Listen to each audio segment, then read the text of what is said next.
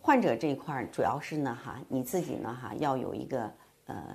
对这个手术呢要有一个呃充分的这个理解，嗯，包括上睑下垂做完了之后，他这个有一个闭不上眼睛的一个那个时间，这个时候大概有多长时间？每个人情况不一样，跟你做的手术方式也会有嗯就是不同。那么闭不上眼的时间呢哈，一定要。呃，涂眼药膏这些呢，都要事先的了解清楚，包括上睑下垂，呃，做完了之后会有什么样的这个呃后遗症啊，或者是需要在后期的怎么护理，都要提前的跟医生做好那个沟通。然后呢，你也要把自己的一个病史呢跟医生嗯告知清楚，让医生对你的手术呢有一个比较好的那个。充分的一个了解，好，以便对你的手术呢采用最好的、最佳的一个方法。那对于顾客来说呢，对于病人来说呢，哈，术前呢没有什么特别需要做的准备，那么最多也是手术之前呢，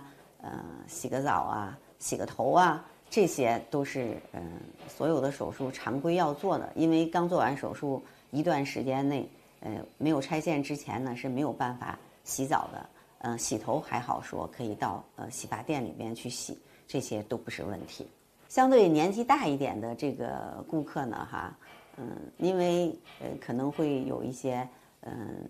要吃的一些活血化瘀的药，这个是要停的。那么我们手术前呢，也会对所有的手术患者呢做一个术前的一个体检、一个评估，然后根据你的具体情况来告知你是否能进行手术。嗯，这个请大家放心。